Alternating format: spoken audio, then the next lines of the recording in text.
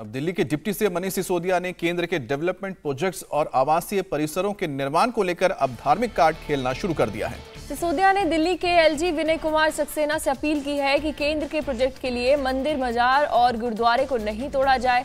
सिसोदिया ने कहा है कि दिल्ली में केंद्र सरकार के अलग अलग रेजिडेंशियल प्रोजेक्ट समेत दूसरे डेवलपमेंट कार्यों को लेकर सड़सठ मंदिर, छह मजार और एक गुरुद्वारा तोड़ने के लिए नोटिफाई किए गए हैं।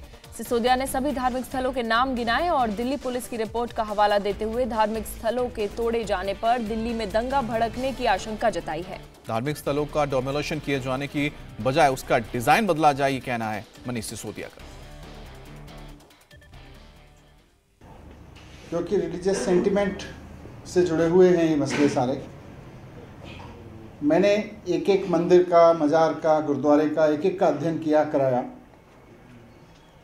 और मैंने देखा कि ये जो सड़सठ मंदिर तोड़े जाने हैं छः मज़ार तोड़ी जानी है और एक गुरुद्वारा तोड़ा जाना है, उसके प्रभाव का भी मैंने आकलन किया, समाज में क्या कर रहा है। मैंने पुलिस की रिपोर्ट्स भी पढ़ी जो अफसरों ने लगा के भेजी।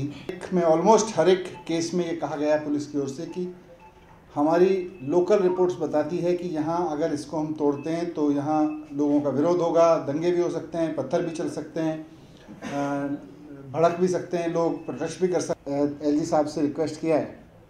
मैं भी इनको भेज रहा हूँ सबके रिकमेंडेशन करके कि इन सब के डिज़ाइन चेंज किए जाएँ और इसमें से जहाँ तक हो, बिना तोड़े इनसे काम चलाया जाए और इनका स्ट्रक्चर में, इनके डिज़ाइन में चेंज किया जाए। मॉडर्न इंजीनियरिंग मॉडर्न आर्किटेक्ट में हर चीज़ का समाधान है।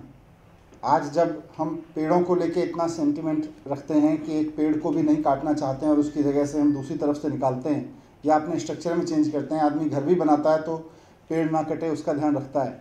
उस हिसाब से फिर आर्किटेक्चर उसका क्रिएट करता है। तो विकास होना चाहिए, घर भी बनने चाहिए, सड़कें भी बननी चाहिए, सब ज़रूरी है शहर के लिए।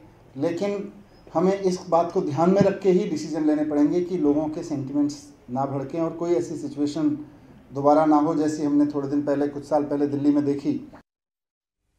इंडिया टीवी हर वक्त, हर जगह। डाउनलोड करने के लिए सर्च करें India TV news, Google Play Store या एप स्टोर पर।